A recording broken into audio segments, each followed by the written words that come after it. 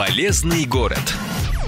Здравствуйте, меня зовут Владимир Сметанин. Эта передача будет посвящена началу отопительного сезона в Кирове. И беседовать я буду с Анной Клепиковой, руководителем управляющей компании «Паритет». Анна Борисовна, здравствуйте. Здравствуйте. В прошлой программе мы с вами говорили о подготовке управляющей компании к отопительному сезону, обязательные процедуры, опрессовка, промывка системы отопления. А сейчас мы, собственно, стоим уже на пороге да, начала да. отопительного сезона. Давайте напомним, при каких условиях стартует отопительный сезон, как процедура подключения домов происходит, кто в первую очередь, кто в последнюю очередь. Я думаю, что все это не бесполезным будет еще раз проговорить. Всем известно, что начало отопительного сезона у нас начинается, когда э, среднесуточная температура не превышает плюс 8 градусов. При э, наличии таких условий администрация города Кирова выпускает постановление о начале отопительного сезона, и вот с этого момента у нас начинается запуск отопления по всему городу. Угу. И все бы это было замечательно, если бы у нас ресурсоснабжающая управляющая организация там открыла, например, какую-то задвижку, и отопление появилось во всех домах. Но а, в связи с тем, что это все делается поэтапно, составляется график запуска отопления,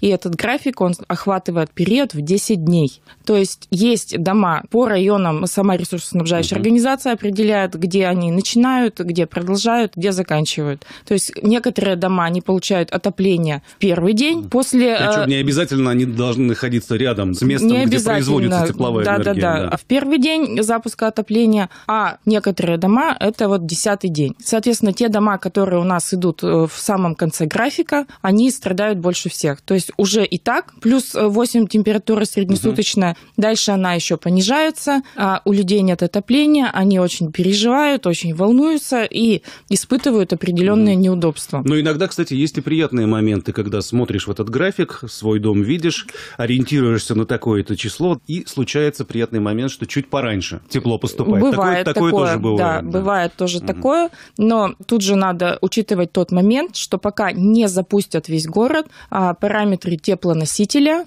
они идут низкие.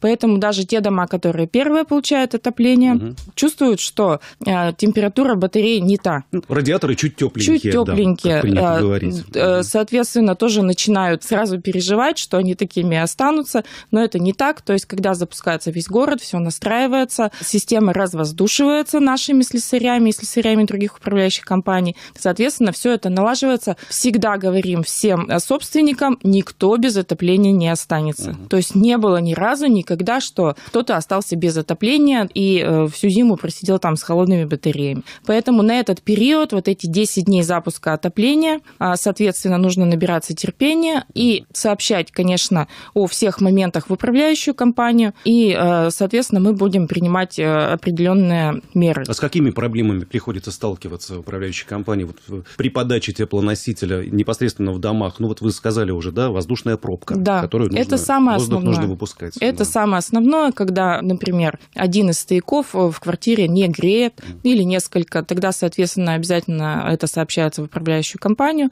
происходит развоздушка либо в подвале, либо mm. на чердаке, в зависимости от системы, которая на данном многоквартирном доме действует. Ну, обычно соседи, на мой взгляд, это замечают и начинают ходить по подъезду, стучаться, спрашивать, а вот э, тепло ли у вас там в детской, например, или Конечно, в если в какой-то квартире да. Э, холодно, батареи не греют, соответственно, они идут к соседям и узнают, а как у них. И если у них все хорошо, то, соответственно, здесь есть какие-то проблемы. Администрация еще, я знаю, каждый год сообщает о такой момент, что по заявке тепло может быть подано чуть раньше. Социальные учреждения ну, и так далее. Социальные как... они запускаются в первую очередь. Uh-huh. То есть это у нас стоят э, школы, детские садики и больницы. Uh-huh. Это у них всегда самая первая очередь. Uh-huh. А по заявке запустить отопление невозможно. Невозможно. Имеем в виду в обычном многоквартирном да, доме, да? Да. По заявке можно отключить отопление. Uh-huh. Это вот именно заявки, когда весной в доме жарко, и вот тогда собственники могут сделать заявку, и мы самостоятельно можем перекрыть uh-huh. задвижку в доме. Uh-huh. Но если теплоносителя нет в системе, то есть ее в принципе нет, но не запустили вот по этой трубе еще теплоноситель, теплоноситель, мы никак заранее угу. в этот дом тепло не сможем подать. Хорошо, так представим ситуацию. Отопление начало подаваться, весь город постепенно подключается, температура теплоносителя продолжает расти. Что дальше? Как отрегулировать, как сделать комфортную подачу? Чтобы не было перегрева, чтобы форточки не были открыты да, повсеместно. Возможности такие существуют в домах, в которых установлена система автоматического регулирования, угу. то есть в зависимости от температуры наружного воздуха. А в домах, где не установлена такая система, регулировка производится а, вручную слесарями. Угу. То есть это, соответственно, опять же, по заявкам. По звонку. Да. То есть для того, компанию. чтобы где-то что-то отрегулировать, мы должны выйти в квартиру и произвести замер температуры. А, Нормативы какие, напомните? Значит, нормативы у нас в комнате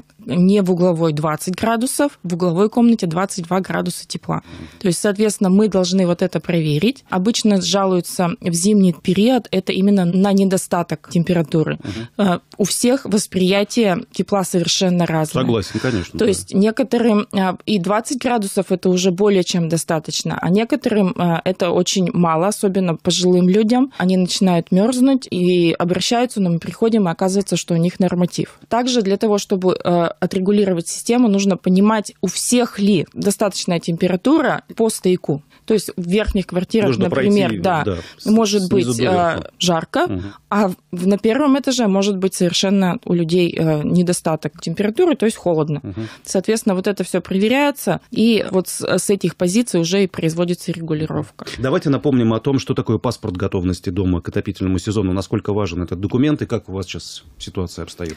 Паспорта готовности – это обязательный документ угу. для управляющих организаций. Они составляются управляющей организации передаются на подпись в теплоснабжающую компанию и в администрацию города Кирова. В настоящий момент у нас стопроцентная готовность по нашему жилому фонду. Как я уже отмечала, в паспорт готовности входит очень много пунктов, параметров, которых, да. параметров, которые угу. должна э, выполнить управляющая организация для того, чтобы его получить. Это и прессовка, и промывка, наличие прибора учета, угу. наличие терморегуляторов, э, утепление, чтобы было сделано система отопления. Очень много нюансов, и по данным пунктам нас полностью проверяет теплоснабжающая компания с выходом представителей данной организации. И, соответственно, при наличии такого паспорта считается, что дом полностью готов угу. к приему теплоносителя и работы в зимний период. Без паспорта подача тепла невозможно? Возможно, а, конечно. Возможно? конечно. Есть, есть, есть исключения? Нет, э, в любом случае, угу. даже если управляющая компания не получила паспорт готовности, отопление угу. будет подано во все дома. Многие ведь получают паспорта готовности под какие-то обязательства. Угу. То есть есть вот мы вы, вы нам сейчас, да, вы сейчас нам даете да. паспорт, но мы в течение там двух-трех месяцев угу. доделываем то, что мы не успели, устраняем недостатки угу. и получаем паспорт угу.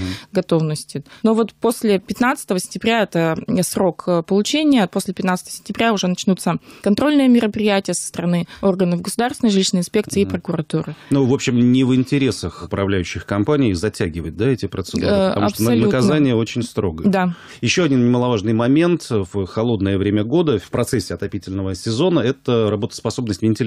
Тут какие моменты существуют важные очень? От вентиляции у нас очень э, сильно зависит э, микроклимат и э, безопасность в квартирах, в которых расположено газовое оборудование. Если в летний период у нас приток воздуха осуществляется за счет проветривания, то в зимний период это получается полностью закрытая система.